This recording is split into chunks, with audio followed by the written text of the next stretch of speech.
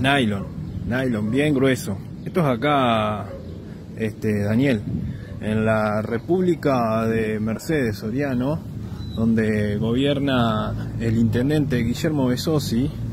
Eh, y bueno, está, como puedes ver, eh, nylon, nylon por todos lados, plástico.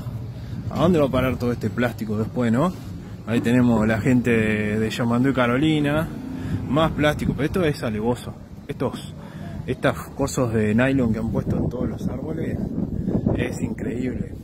Repito, esto es Mercedes Soriano, la República del Intendente Caudillo Guillermo Besosi. Y no solo Besosi, ¿no? Tenemos a toda esta gente también.